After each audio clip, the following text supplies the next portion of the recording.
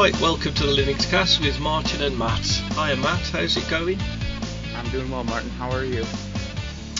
Well, well, what you been up to this week? Well, I've been struggling for like last six months trying to get MPD and uh, NCMPCPP. It's the worst name for a music player ever. Um, but I finally got to working this week. This week, um, I'm, I'm my quest to finally stop paying each month for Spotify is finally here. That's what I've been doing. I've ne- all right, I've never heard of those. Uh, what is it? Streaming or is it? No, they're just basically players for your own collection of music, but they're terminal based. So MPD is a it stands for Music Player D- Daemon. It's a like a it's a music server. It plays in it runs in the background every time your system starts up. And NCMPCPP I only can say that because I have it written down in front of me. Uh, um, that's like a, a console terminal based music player. So, uh, you know, I'm a nerd, so I try to use everything in the in the in the terminal. So that's what I've been doing. It's a, uh, you know, it's fine. I don't know. It sounds a bit elitist to me. What's, what's wrong with the G? What, yeah. what's wrong with the GUI? Well, or Clementine, or ah, those are for noobs, man. Come on. I'm gonna work on NeoMutt right. next. That's the email client in the terminal. So. Oh, that's a bit too uh, high level for myself. I'm quite happy with um, web-based um, emails. Oh, I can't stand. Uh, I can't stand web-based. Web-based. I, I can't do it. It just drives me nuts. I have to have a client. Anyways, what, you, what about you, Martin? What have you been up to? Um, not a fat lot. It's been a bit bit busy with work and whatnot. Um, but I took a bit of uh, uh, moving from LastPass, LastPass even to Bitwarden. Mm-hmm. Um, yeah, um, LastPass has got a lot of bells and whistles, and it automatically fills it out and stuff like that. Uh, Bitwarden I'd got because I've got a two-factor authentication key. So I thought I'd start using that instead of dealing with texts and whatnot and logging in for my Google Mail, uh, my Google login for whenever I need to check things like that. Uh, but yeah, Bitwarden seems okay uh, for the ten dollars a year. I mean, you can't really go wrong. Um, I mean, if you don't want the t- two-factor authentication, you just want the basic, you, you can just use it as is for free. Yeah, I got the free version. I don't. I probably should pay. Probably should get the two factor, but I haven't. I haven't done that yet. Yeah. I've been yeah, too busy messing with my elitist console terminal applications. See, it, it, it, sounds like he just needs some uh, GUI on the go. um, let's have a look. So, if we go on to the news, um, contact information, Martin. Week? Oh, contact right, information. Okay. got it. We, right. If we don't have that, we can't be contacted. That means we don't exist. Oh, so let's go. Right, you can contact us on Twitter at LinuxCast, and Matt can be contacted on at MTWB, and myself, Martin, can be contacted at Martin Twit, the number two, and you, as in Y O U, not as in you. So what have you been up to this? Uh, sorry. Oh, are you going to cut some of this? no. Who cares? Oh, rubbish. No, right, no, so it's, it's much more entertaining if it's uh, you know. Keep, keep the bloopers in. It's natural, man. Yeah. I yeah. Maybe someday we'll cut the bloopers, but you know what? You know, let let let them see how the sausage is made, as they say. Yeah, exactly. Well, you'll probably have more bloopers from me than actual show content. So, what new item you got this week, Matt? All right, so Microsoft Edge has come to Linux. Now, uh, about six months ago, Microsoft announced that it was leaving its own proprietary uh, browser Magic behind and moving to a Chromium based web browser. And then, surprisingly and shockingly, they decided that they would bring out that version of Microsoft Edge for Linux. And OMG Ubuntu this week managed to get a look, a first look at it. And from everything everybody, uh, you know, has been has been saying, it actually looks pretty good. Now, I don't use Chromium at all, or Chrome. I'm a Firefox guy. Um, no, I, I hmm. don't use a terminal-based browser. is uh, I looked into them; they're not that great. Um, oh no. But um, from everything everybody said, the YouTube videos I've watched, the Microsoft Edge for Linux looks it looks like Chrome.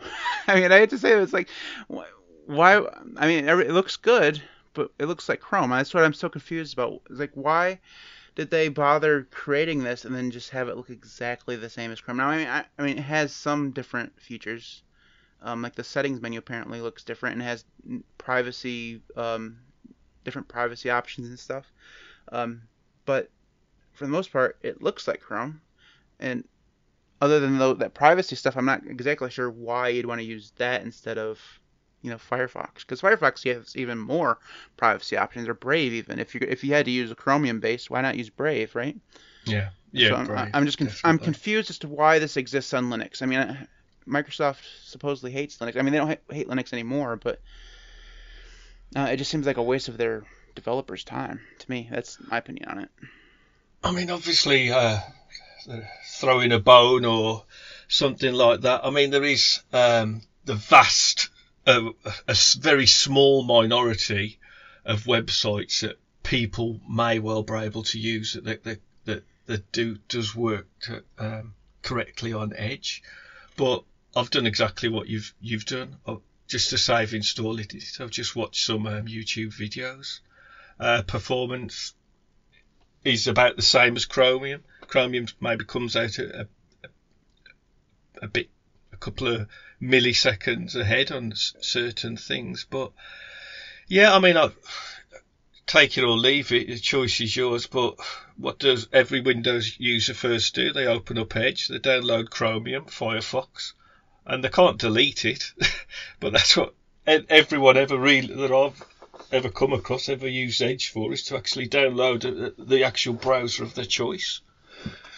But we'll see. Some people are looking forward to it uh, and using it, but we've got that much choice in web browsers. yeah. Well, I, I, think each to its own. Well, I mean, I'm, I'm not saying that it. Sh- I mean, it shouldn't exist. I'm just saying that uh, a lot of people yeah, are looking at this as a like a precursor to Microsoft bringing their other software to Linux, like you know Microsoft Word and all the rest That's of the Office suite stuff. Like, yeah, I don't even know. Oh, I can't see that happening. I mean, it'd be cool if it did, but I don't think it's gonna. I mean, because they did they, they did bring Teams over last year, yeah. and and now they have this. So I mean, maybe, but it just seems they, they did bring it to Mac, and nobody. I mean, but more people use Mac than than use Linux. I mean, it doesn't seem like uh, something that they do. So I I don't think that this is the harbinger of Microsoft software we expect it to be. Um, and it'd be different. It's a start. yeah, I, yeah. It'd be different Good if it wasn't running on Chromium. Everything runs on Chromium, right? So I mean, yeah. It would be cool if they they'd forked Firefox. You know, I mean that that'd be more interesting because there's not a lot of great forks of Firefox out there. Um, so I mean that would have been more cool. That would have been more interesting to me. Uh, anyways, what about your link? Um, yeah, I'm going for a an OS. It's called um, Septor OS. Um, I just on DistroWatch for what um, it's worth when you you sort sort through the page rankings and whatnot. Um, I just noticed this um, trending recently. I mean, it's uh, it's basically for your Tor anonymity uh, with KDE. So it's a nice looking um, little distro. Um, I've only messed about with it. I, I, was able to get onto stuff that's blocked from my home. Um, I mean, I've got web WebSafe, so I can't go on any gambling or any sites like that. I just tried the gambling, no, nothing else major. Hmm. Um, but it got me through. So if if you just want to keep a USB to the side, um, just to stop getting tracked, if you're looking for certain things online, cars or whatever, or you're shopping, it seems fine. Um, nice looking. Um, relatively lightweight. Um, doesn't come with a lot, but you can also always in, in, install what you want. But all worked out the box where I used it for. Um, seems okay. So if anyone's looking for a some sort of Tor alternative to Tails or things like that, um, you may want to give this a, a try with the um, nice looking KDE support. Yeah, it looked good. It looked good based on Debian stable. Um, Mhm. I've never had success since installing Debian before. I've never. I mean, I've only tried once, so. But we'll. Uh, maybe I'll What, give this a try. ever- What Debian? Yeah, it's based on Debian. Stable. Yeah, yeah. So you'll be using apt a lot. All right, let's Yeah. get to our main topic. This is your topic this week, Martin. So why don't you explain to us what the main topic of this week is? All right, so it's elitism. Is there a danger of the penguin master race? I mean, we've all heard of the PC master race. Um, I mean, I think, well, there's no two ways about it. The elephant in the room, that there is elitism in Linux because you have to be quite computerate to actually go down the route of installing uh, Linux. Um, it isn't a case of it, it well, obviously is coming pre-installed now, but people have to burn the distro. They've got to log out of uh, disable fast boot on Windows. They've got to press escape, F2, F10, delete, whatever, get into the BIOS, change your settings, um, and start up Linux and go through that. So I mean, you've got to, you have got to c- computer to use Linux, um, and, and I do think that the vast majority of us are, are tinkerers and tatters uh, that actually love um, having the system exactly how they want. Um, I mean, in terms of elitism, obviously there's your, your power users and things like that, and, and your noobs and, and, and various things like that. It, it's just, I'm not, I don't want to say it's not noob friendly, but you do have to do a lot of digging for certain things. And you might well pull a web page up from 2010 and you're just scratching your head. And you could go to the forums, obviously, and try and find someone with the same problem. Or if you're unfortunate to, enough to actually ask a new question, you're going to get the read the effing manual. Or haven't you tried top right? There's a search button, type in your query, but there's certain bespoke things that you may actually look for that are not coming up on your search criteria. I mean, I did a, a search for something before, couldn't get anything, so I, I dropped it in the chat, and someone came back to me quite quickly, but it, it was like, oh, if you checked out the so and so and had a look here, you'd have saw this. And I like got back and says, oh yeah, thanks. I did do a search, couldn't see anything. But for other people that's searching for the same thing, here's a link below. And I just saw, and I saw this before with different ones. I'll search. if the moderators, why can't I just say, oh yeah, it's, it's quite easily searchable. Please see the link down below so people can click it. And I mean, I checked my um, query a couple of days after, and it was like 60 people that had hit it. So it wasn't a case of it, it was a noob noob. Someone had actively searched for this question and got the answer. I just think it, it, little things like that, that, and I think people used to Linux actually forget exactly what it is like when you do start. Terminal can be scary. I mean, it can be a cinch if you've got the right instructions. You're only copying and pasting unless it from a reputable site. You don't start copying and pasting any old scripts. Um, I mean, what, what do you think from your side? How, how long have you been using Linux? So I've been using it full time since 2017. Um, but you're right. Um, you're right sometimes, Martin. I think uh, I think that it really depends on what community you're in. So like the Arch community is notorious for read the read the effing Yeah. manual. Yeah. Right. I mean, you go to the Arch, you know, you the forums or the uh, the um, Reddit or whatever, and you know they're going to point you towards the Arch Wiki. And the Arch Wiki is great. I mean, it's a, it's a fantastic resource, but it's not written in language that's you know understandable by someone who's never used a computer. For like you know, my mother could go to the Arch Wiki and like, what the what does any of that mean, right? You know, it's not gonna she's not gonna know what you know it is. Um, but I think other communities are much more you know quote unquote noob friendly. So like Ubuntu community is much more noob friendly. They will tell you to do your Yeah. searching first, but um, they're I think because they attract more new Linux users, uh, they're more uh, interested in helping people, even if it's a obvious question. Um, but because basically, the Linux world or whatever is based on two main, uh, you know, for for the desktop anyway, it, it feels like the vast majority of people are either using something that's based on Ubuntu, either Ubuntu itself or Mint or or whatever, um, or they're using something that's based on Arch. And I think those communities are really kind of opposites of each other in terms of noob friendliness. Now, I mean, obviously, there's uh, then you get into the whole Red Hat and CentOS and OpenSUSE communities and stuff, and they're they could be very prickly too. Like um, OpenSUSE does a really good job with their community. I've I've I've experienced, but if you try to get into like uh, the like Fedora or whatever, some of that some of their support is not all that great either. Um, but I think it really depends on both the community and what your question is. I mean, because I mean, some people ask questions that are very, I mean, very simple, but I think all, I mean, because you, are talking about how hard it is to get into Linux, and for like a, a new user, and um, uh, w- way back when Ricky was helped me do this podcast, we talked about one of the things that was kind of preventing Linux from going mainstream, and one of the things we talked about was uh, having to go through and um, you know burn burn an ISO and getting into your you know legacy BIOS and all that stuff, and that, I mean that's yeah. the the biggest hurdle, right?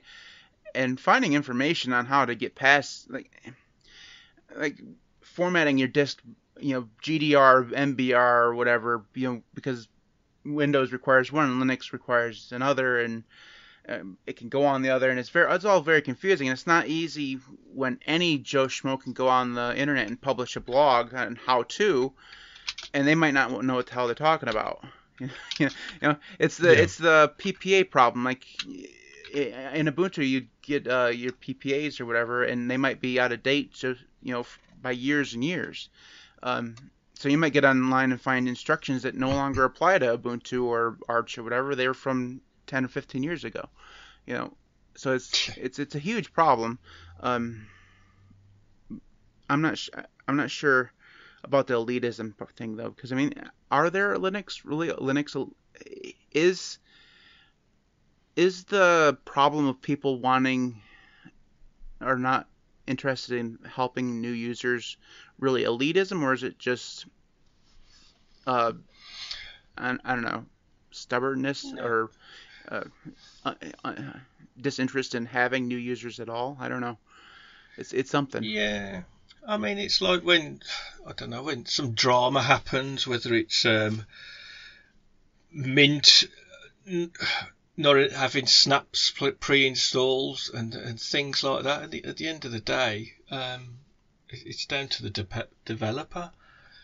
Things like that. Um, I mean, obviously, people get tribal, um, but at the end of the day, Linux is there for choice. I mean, you've got you could sit there for four hours and just tat about with the amount of stuff that, that's available to you. It's, it's just what I do enjoy about Linux is it, the amount of stuff that you literally can do, and like, oh look, I've, I've done that, or I've changed this, or I've changed my desktop environment, things like that. But with the yeah, the elitism, I mean, with the PC master race, I mean, they just think they're better than everyone else, and obviously there are parts of that to to every software. Look at Apple, your Apple people, things like that. But yeah, it, it uh, there is elitism for sure, definitely, but as there is with everything else, I just think. Um, I mean, there's got to be really at the end of the day. There's got to be someone that's a lot better at Linux than the next guy. Um, just from like a, a, new user coming in, it's like well, maybe a bit more helpful. Like you say, the Arch wiki um, may well be difficult for your average person to read through because you you pick up information day by day, week by week. Um, but like as opposed to oh here you go, just just start them on Arch and things like that. But it's like okay, so well no, if you're going to start anywhere, Ubuntu. I mean, Ubuntu was brilliant years and years ago because you, you actually had a CD with your magazine that was free or something like that with Ubuntu in, so you could just get started, read the information, and and, and try this new operating system. It's like a, an AOL disk back from the day. oh, I found one of those the other day when I was in the loft. I, I I have I have a book in my view right now. I can see the book. It's like three feet away from me. It's on Ubuntu 8 8.10, I think, and it still has the CD in it. so, and I also can see uh, a uh, a certification thing for Red Hat Linux. Uh, I'm not sure which Red Hat it is, but that also has the CD in it. I don't know why I keep these books, but I still have them. That, that's how long I've been interested in Linux. Those, those things are really old. Yeah, yeah, definitely. Um, but I, I, I have a bone to pick with this Linux elitism thing, Martin. Mm, Linux Linux is better than Windows. It is, just is. Uh, I, I don't. It can be argued that you can do more on Windows than you can on Linux. It can be proven that you can do more on Windows than you can on Linux for the most part. Um, I don't necessarily think that that's the right way to look at it because you can pretty much do everything on Linux that you can do on Windows. You just have to do it differently, right? Um, yeah. But I think anybody who actually gets in and starts learning about Linux and using it and adapting their their workflow to actually like um, once you've moved off and away from Adobe products and learn how to use GIMP and Inkscape and all and Kdenlive and all that stuff, you you you adapt, um, and you may miss some certain features from those products, but you also then when maybe you you are like me and you log back into Windows and it starts doing crap that you're that you forgot how annoying Windows can be. Um, I think that that's it's it's it's hard to it's kind of a um, I, I don't know the word to describe it. It's a an overall sense that Linux is better in, in so many different ways. But I mean, Linux has its own problems too, I suppose. So it's hard to argue. It's just really hard. I've talked myself out of the argument that Linux is better, but um, I think that Linux is is way better. But does Linux? I guess the, the question I want to ask is, does Linux elitism? I mean, say I agree with you, Linux elitism is there. Does it hurt anything? I mean, because obviously it hurts that noobs can't get the help they want, but then they. Do you think that they're they're scared away from Linux altogether? They just try a different distro and find help elsewhere. Yeah, I think a good introduction. I mean, there's, there's plenty of uh, videos out there on YouTube. Uh, just a right introduction from the right people um, to get started on it. Things like that. I mean, there's no bones about it. Linux is is far better than Windows in, resource, in resources uh, and the way that you could stick it on the laptop from 10, 12 years ago. And you, even longer. Some you can them. update whenever you want to update. That's my favorite part about Linux. well, yeah, you, you could just let it update while you're actually working on it. Um, I was thinking about it the other day. Actually, I was thinking, yeah, games catching up now, getting a lot better. Go down the Proton route if you want. That's fine. And I thought one thing that Windows has got over Linux is the printer drivers. You've had problems Linux, with you've had I problems think with Linux users. Ha- yeah, I think Linux users have a lot of problems with printer drivers. I think I haven't got one set up yet. Um, I'm, I know I've saw a couple of things as I'm, I'm trailing through. I think Brother's about your best bet to have some decent Linux support, but I have they're only going to cater to the majority, aren't they? I have an Epson, and it's wireless, and it works fine. I've never had Wow. any problems with it. Um, no, it doesn't have full functionality. Like I can't go through and use the, the scanner wirelessly or whatever. Yeah. Um, so I'd had to win, do to go to Windows on that. But I mean, who scans anything nowadays? I mean, No. I mean, I just, I, I, the funny thing is, I have had to scan something because I say, I say who scans something, but I had to scan something like I don't know four or five months ago, so I had to go into Windows. Um, so I mean, I guess you're right, the the printer things, but I mean, I think, do people really print that often? I mean, is that really? I mean, I, I think if you're looking at the the biggest hurdles to get into Linux, uh, you're looking at installing it to begin with, you know, getting past the ISO and getting into the, you know the boot menu and all that stuff. Because I mean, every computer is different. How I mean, how do you get into your the boot menu on your computer? You, you know, maybe it's F12, maybe it's Escape, maybe it's F1, maybe it's T, maybe it's R. It, it you know, it could be any of those things depending on what computer you have, and you have to you have to be deliberately interested, I mean, really interested in installing Linux in order to go get on Google, search for your specific model of computer, and find out how to do that. And it's the same yeah. way with, you know, um, you know, learning how to use a package management. So, you know, if you're in Ubuntu, you have to learn how to use apt, or you have to you learn how to use their, um, you know, their, their software things. You have to learn how to use Snap. You have to whatever. If you're on Arch, you have to use learn how to use AUR. I think the thing about Linux that really diff- differs the Linux user base from the Windows user base is that Windows users can just go on there and things just for the most part work. And when something goes wrong, they either throw their computer in the trash or they take it to the Geek Squad, you know, or whatever. Um, if you're on Linux, you start off with the idea in your head that you have to learn. You have to think and you have to be willing to go out and search for the answer. Um, and if you're not willing to do that, I think I think that that's really what leads to a lot of the whole read the effing manual thing is because every Linux user has to be willing to go out and learn on their own, and they if they don't have that willingness to learn uh, and find out the answers on their own, they're going to encounter the problems of asking stupid questions.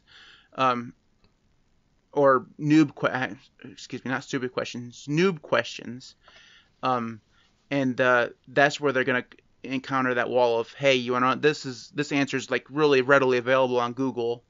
Because um, I mean in my experience I mean remember I'm much more removed from being a noob than you know other people. Um, but in my experience I've um, you know I, have come across some of the you know eh, you know go read the manual thing I mean everybody has but I mean, for the most part, if I've actually asked a really good question and I haven't, you know, and there really isn't an answer on the internet, most for the most part, I haven't seen the, you know, pushback of not being able to answer. I've gotten, for the most part, I get my answer question now. Arco, what I use for my daily distro, the guy who runs it, he's the most unhelpful person in the history of the universe when it comes to, to, to support um, because he makes YouTube videos on every little feature and he's made like 1700 videos on his distro. And that's like i mean that's like really impressive right? But when you ask a question on their telegram or whatever he goes go find the video. Like dude you've made 1700 videos and youtube searches about the most trash you've ever seen in your life. How am i supposed to find the vid the specific video on the one problem i'm having? It's the uh i don't know. So yeah Are you ready for the apps now, or you got anything more to say about the Linux elitism? Martin? No, I mean, I'll, I'll, definitely agree that once you actually dive in and you, go over the hurdles and things like that, um, internet's a wonderful place, a bit of Google fu. Um, once you've showed the interest and you're actually on board with it all, and you've got used to using different packages and whichever one fits the way you like. I mean, yes, some of them aren't very good looking, but they're all improving and, and getting better and better. I mean, there's some absolute brilliant apps on Linux that you just wouldn't find on Windows without reading every single thing, be careful what to click in case you've got Chrome installed with God knows how many web pages that it keeps booting you in. There's never anything like that on Linux, which is absolutely superb. But yeah, it's just a good little topic to chat about, I think. Mm-hmm. Uh, but at the end of the day, there's there's hierarchies in, in everywhere, tribalism everywhere, but yeah. Oh, definitely. It, it's it's always what I use is the best and what you use is the worst. That's the way humans are. I mean, yeah. I mean, look, well, look yeah. At, look at um, look at um, automobiles. Like so, I mean, I I don't, you know, there are Ford people and there are Chevy people, and if you drive a Chevy, Ford suck. If you drive a Ford, Chevy suck. I mean, it's just the way people. I mean, other than saying, you know, I bought a Ford because it was cheaper than a, a Chevrolet or whatever. I mean, eh, people aren't really honest about that kind of thing. Like, I, maybe I just use Linux because I don't want to pay for, for Windows uh, license fees. You know, I mean, Yeah, that's yeah. that's one possible reason that you use Linux, and then then you have no elitism right whatsoever. You're just a cheap person. Yeah. Anyways. why not? Yeah. Apps of the week, Martin. Why don't you go first? Yep. Uh, so my app for this week, um, I've got it from Jason from Linux for, Everyone. Um, I'll leave a link below um, so you can check out his um, YouTube video to actually um, see it up and running. But it's called eDEX-UI, and it's basically uh, opens up in a command a terminal. So you've got a lovely groovy terminal. Um, if you've got a touch screen, even better because you've got all your letters down there. You've got various information. Um, I myself have added like the, the matrix thing to it, so I'm full on hacker, so I've got that scrolling through it. But it's a really nice thing to have. I mean, especially if you've got a second screen, you could just have that running in the background. It's got all your um, system resources, various information. It, it, it just really is super neat. Um, you can actually watch um, a, a film in ASCII art on it that Jason's popped on his video. So um, yeah, check that out definitely. Yeah, it looks cool. I haven't had a chance to download it yet because I just got to the link today, but it looks really nice. Um, so mine is a command line program, uh, you know, because elitism. Uh, Well, if you have to do everything in the command line, that's that's fine. I like doing things in the command line. I can't explain why. It gives me my my nerd cred. Okay, it, I got the badge. It says I'm a nerd, so I got to use it. I mean, if I don't use the command line, I'm not a nerd, and therefore the end of the world. Anyways, mine is called, something called wikit. So, um, Wikipedia is a thing that people use. Uh, it's not the best thing in the world because there's a lot of misinformation on it and stuff like that. But you know, whatever. Um, if you if you find yourself visiting Wikipedia a lot, but you don't actually want to use a browser like a normal person, you could be a nerd and get use wikit. It's basically a command line tool for searching and getting brief snippets from uh, Wikipedia. Now, one of the reasons why I like it is because you can build it into your app launcher. So if you if you use dmenu or Rofi or something like that, or if you're a programmer, you could probably implement this into something else like um, Albert or Alfred or whatever it is. Um, and you just um, do a brief search and it just shows you the summary. So it's kind of brings up like you know when you go on Google and you um, search for something and often to the right there's a little card that shows you a little blurb from Wikipedia. Yeah, yeah, That's basically what this does, only it's in your terminal and you don't have to give Google any of your information. It's just, you know, it just gives you a small little bit from usually the first part of a Wikipedia article and that's it. It's very simple. Um, I'm it doesn't say what it's written in. I'm not sure. Oh, JavaScript is what it's written in. So, you know, take that way it is, but it's, you know, it's really cool. I don't, I don't use it Yeah, that often, but it's uh it's just something that I have installed on my computer and it, you know, it works. yeah. Nice and easy, I guess. Yeah. So that's uh, that's mine. Um, you know, I feel like Martin, I stole the hosting duties away from you. No, no, I need I need steering definitely.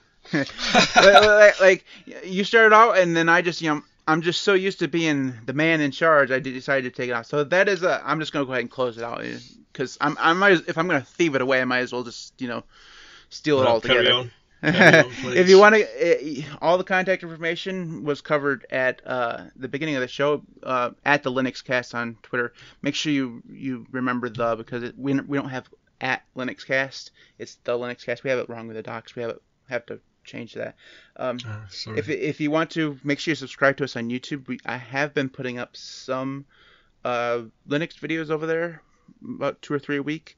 Um, mostly just nonsense videos. They're kind of horrible, but if you want to see the horribleness of my YouTube video career, go ahead and hop on over there and subs- give us a subscribe. Make sure you subscribe on all of our uh, podcast feeds or whatever. You can find us on Anchor, Spotify, Apple Podcasts, all those things, and you can find all those links at the linuxcast.org.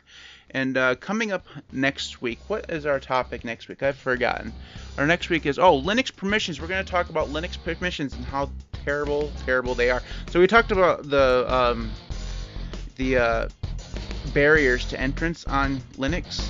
One of the things I've been using Linux since 2017 full time, and I still suck at Linux permissions. We're going to talk about that uh, in detail next week. So uh, we'll see you then. That's great. Looking forward to it. See you later, guys.